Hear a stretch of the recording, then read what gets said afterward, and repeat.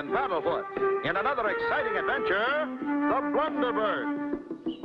Our story opens in the heart of the Amazon jungle, where the jungle wireless is carrying a frantic message. A frantic message for help.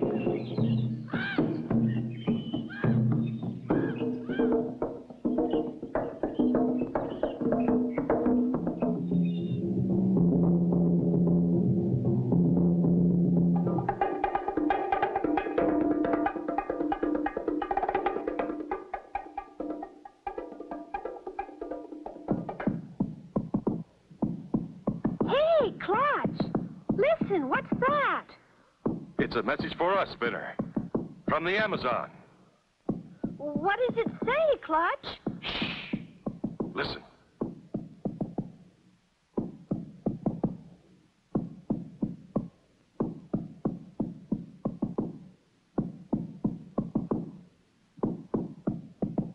It says, friendly headhunters got big trouble. Stop. Come quick. Stop. Signed, Swampy. Why, it's from our old friend Swampy. Gee, Clutch, does that mean we're going to the Amazon? That's right, Spinner. Just as fast as we can. I remember the friendly headhunters, Clutch. They were a swell bunch of guys. Yes, Spinner. They once helped us when we were in real trouble. Now it's our turn to help them. We should be there in a couple of hours. Gosh, Clutch, all I can see for miles and miles is jungle. Where are we going to land? There's a river right near Swampy's place. It's wide enough for a landing, and we'll soon be there. Paddlefoot is getting anxious. Well, tell him he won't have long to wait, Spinner. I can see Swampy's landing dead ahead.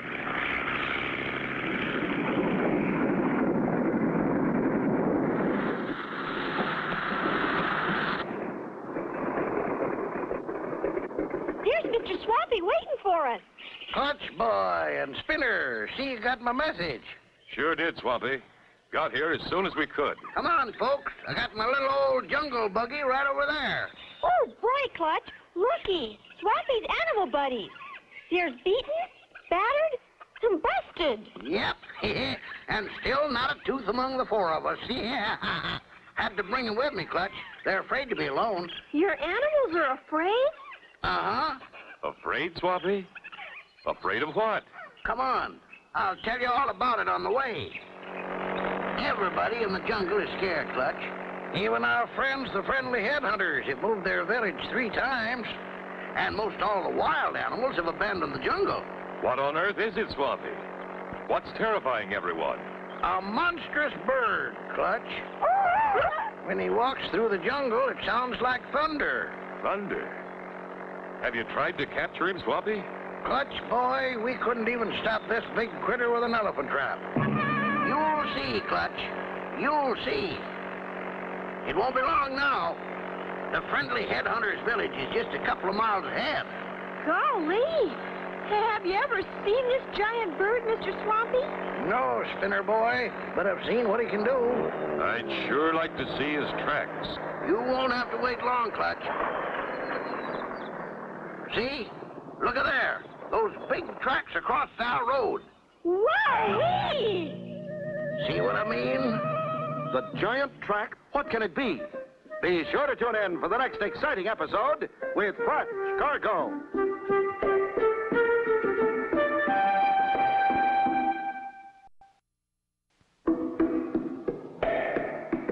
Clutch Cargo with his pals Spinner and Paddlefoot in another exciting adventure, The Blunderbird.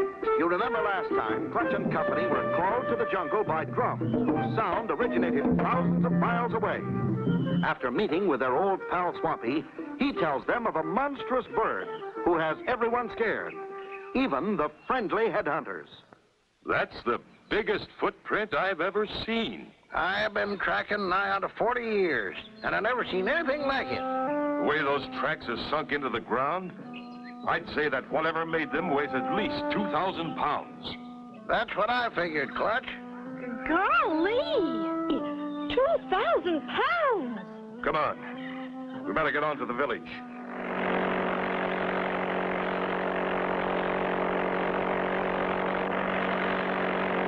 It's just over the next little rise now. It'll be good to see Chief Headley again.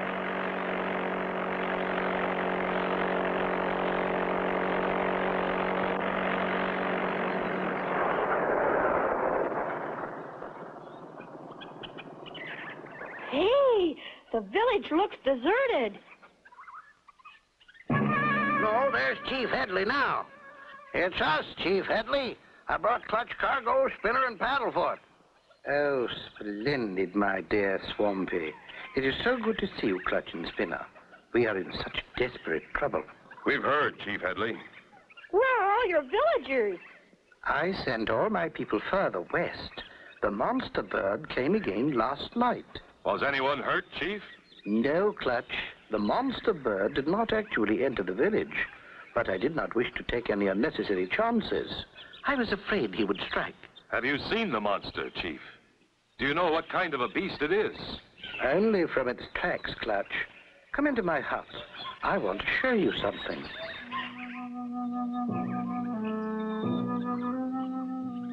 I have done considerable research on these giant tracks. Have you seen the tracks, Clutch? Yes, I have, Chief. Swampy showed us the tracks on the way here. Does this look like the tracks you saw?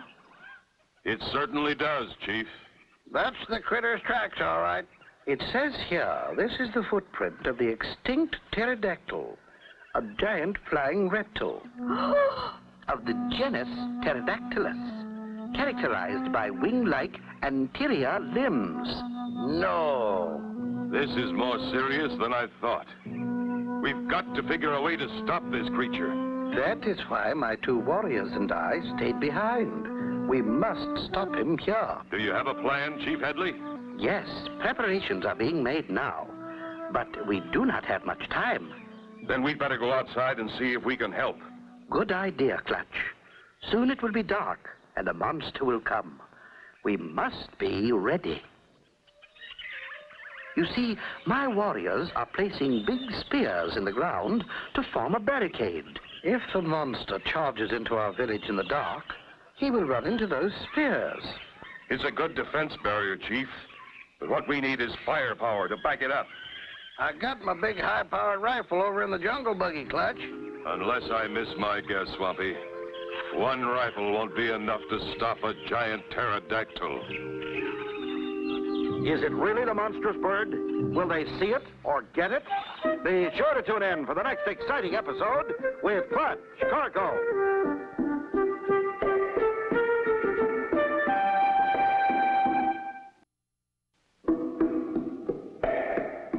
Clutch Cargo with his pals Spinner and Paddlefoot in another exciting adventure, The Blunderbird. You remember last time, Clutch Cargo and Company, with Swampy, had entered the village of the friendly headhunters. Chief Headley told them about giant pterodactyls that roamed the earth, claiming that the huge tracks belonged to one of them. As they were about to trap the giant birds, What are we gonna do, Clutch? I've got a plan that ought to stop him dead in his tracks. Got any spare inner tubes, Swampy? Why, sure, Clutch. Spare inner tubes is something I always carry. These jungle trails ain't exactly no freeways, you know. Uh, what is your plan, Clutch? That row of trees over there. We can cut them into giant slingshots.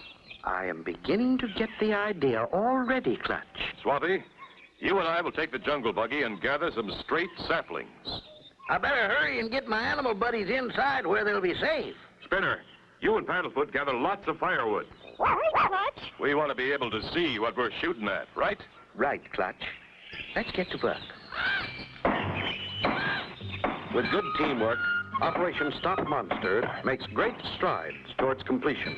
As each person pitches in and does his part, the super slingshots are soon made ready for defense of the friendly headhunters village. That ought to be enough wood, Paddlefoot. You were a big help. Well, Chief Headley, our defenses are about ready. Righto, Clutch Cargo. The slings are all loaded. Now all we have to do is run the trip line into your hut and wait. I'm sure we won't have to wait long. It will soon be dark. Right, Chief. We'll light the fire now and get inside.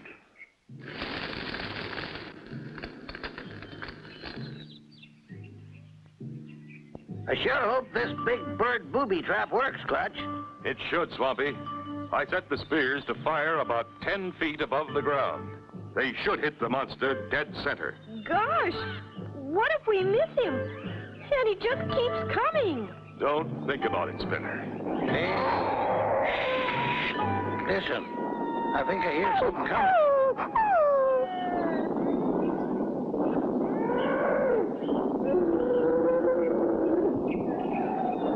Take it easy, everybody. Let's not panic. Get ready, Clutch boy. Like he's almost to our line of fire. Right, Swampy. A few more steps, and I'll let him have it.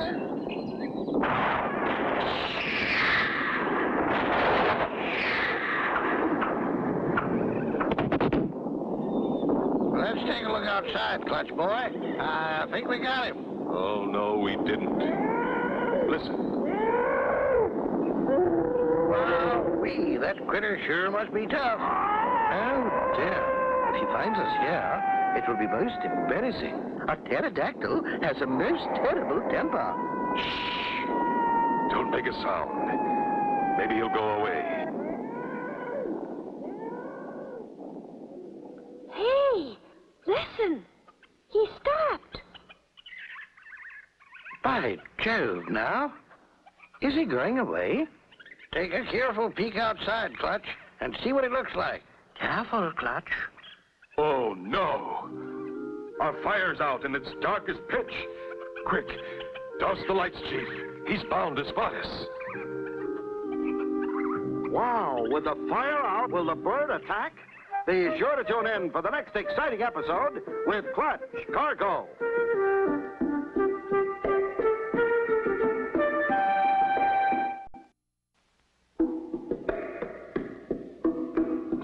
Cargo with his pals Spinner and Paddlefoot in another exciting adventure, the Blunderbird. You remember last time, Clutch and Company with Swampy and Chief Headley figured out a way to trap the giant pterodactyl. Waiting breathlessly, they finally heard the giant bird and let go with a shower of slingshot arrows. However, the bird got away. Now, What are we going to do now, Clutch? We can't venture out there in that dark jungle. We better wait it out here in the hut until daybreak. But what if that critter comes back? Keep your fingers crossed and hope that won't happen. morning finally comes. All is quiet in the little village of the friendly headhunters. All's clear. Ah, my two trusty warriors are unharmed. Look, the monster walked right through our big bonfire. Walked through it. Why, he stomped it all out. Woo-wee, a fire-stomping pterodactyl. And his footprints go right through our my village. I can't understand how we missed him with our barrage of spears. We sure missed him, all right. Look over there. Woo-woo! Look at that. How could anything survive that shower of spears? We're going after that bird. We could stop him with one well-placed shot. It better be a good one, Clutch Boy, or that old pterodactyl is liable to have us for dinner. And I don't mean as dinner-type guests, neither. I'll go in the hut and get my trusty shooting rifle. Chief, you and your two warriors better stay here to guard the village while we look for this monster. Clutch!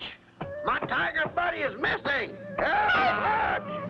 I thought he was in here with battered and beaten. Suppose he went out during the night? You mean the big monster bird got him?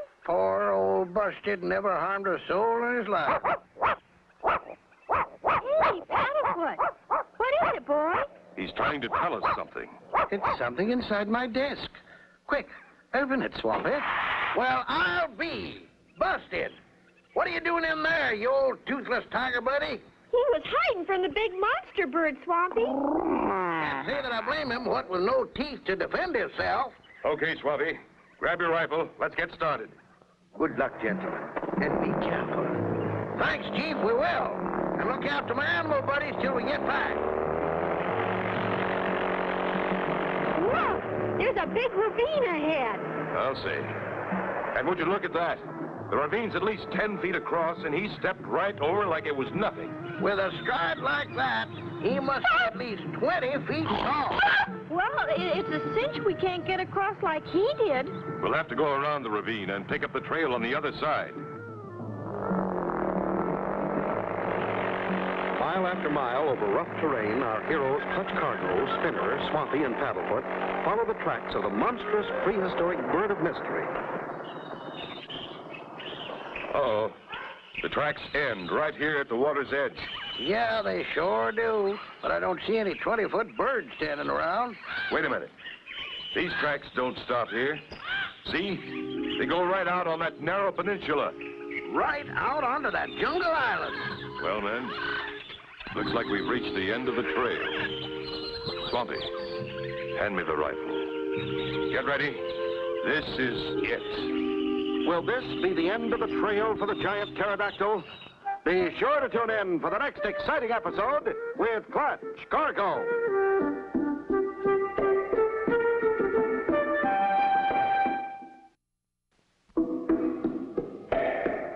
Clutch Cargo with his pals Spinner and Paddlefoot in another exciting adventure, the Blunderbird. You'll remember last time, Clutch and Company with their old friend Swampy followed the tracks of the giant bird. They led them over hill and through water until finally they came to a small peninsula. Without a doubt, this is where the pterodactyl lives. That's the end of the trail, all right. A regular dead end. That big critter's bound to be right on that island. Are, are we going in after him, Clutch? We sure are, Spinner. This is the showdown with Mr. Pterodactyl. Let's go.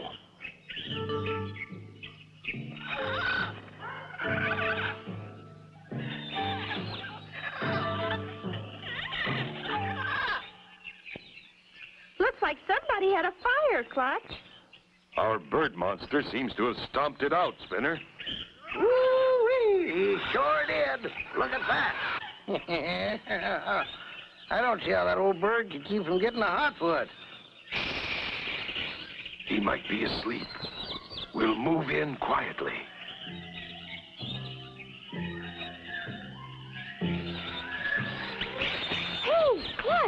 Clutch! Looky! There's the river. We've come clear across the island, and not a sign of him. Hey, listen! I think I hear him! He's coming from behind us. Sounds like he's crossing that narrow part of the peninsula. Come on. Let's take cover behind that big rock. Now, everybody. As soon as he steps out, I'll blast him. My gosh! There's a whole bunch of them! They're behind that big tree.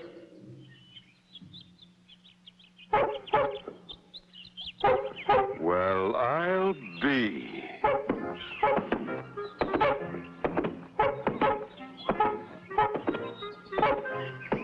Never seen anything like it before in my whole life.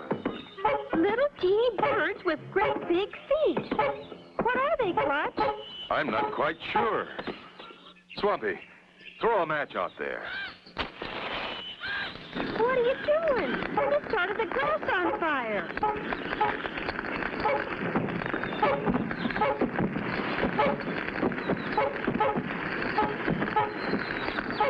Hmm. Uh-huh. What do you mean, huh? Why, those are blunderbirds, known for stomping out fires. I thought they were extinct. They're kind of cute. Well, look, they walk in each other's tracks. That's why their tracks are so deep. Blunderbirds, eh?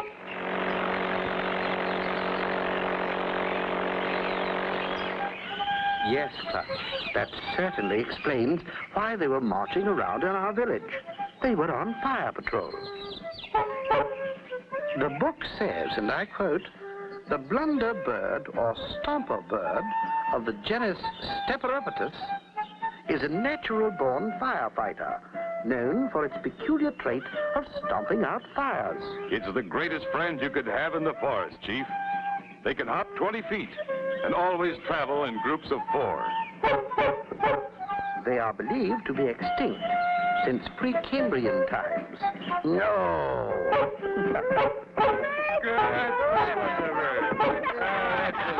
And so ends the story of Clutch, Cargo, and his pals Spinner and Paddlefoot, and the Blunderbird. Be sure to tune in for the next exciting adventure with Clutch Cargo.